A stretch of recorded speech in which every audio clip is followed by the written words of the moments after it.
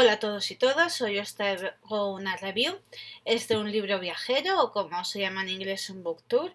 Es un libro que consiste en que llega una persona y esa persona se la tiene que enviar a otra y así sucesivamente hasta volver al dueño del libro. Muchas, en muchos casos suele ser el autor. Y en mi caso ha sido Heaven, el hilo rojo del destino de Lucía Arca, de Universo de Letras tiene 145 páginas y bueno, como siempre, os voy a leer la sinopsis y os voy a dar mi opinión.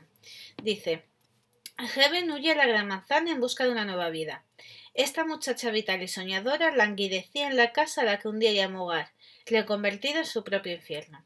Sus sueños se están viendo alterados por extraños acontecimientos y por una presencia abrumadora, un ser al que se encuentra extrañamente ligada y el cual la llama por un nombre que siente tan propio como el suyo.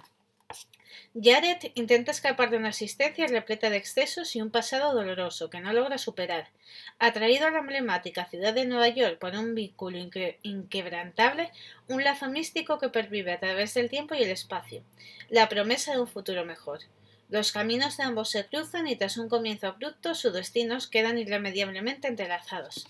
Bueno, es un libro que a mí me ha gustado bastante, es una historia de amor bastante atípica, con seres sobrenaturales, por así decirlo, eh, gente que no sabe que tiene estos poderes sobrenaturales y realmente sí los tiene.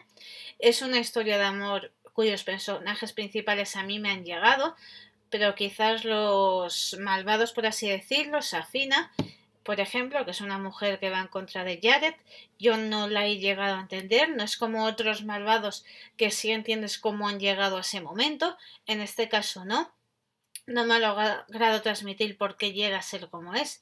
Es el único fallo quizás que le he podido encontrar, pero por lo demás es un libro que me ha gustado bastante, que le he dado 4 estrellas de 5 y que recomiendo a todo el mundo. Y bueno, hasta aquí la review, como siempre espero que os haya gustado, que le des a me gusta, suscribáis a mi canal y lo compartáis en todas vuestras redes sociales y muchísimas gracias por estar ahí.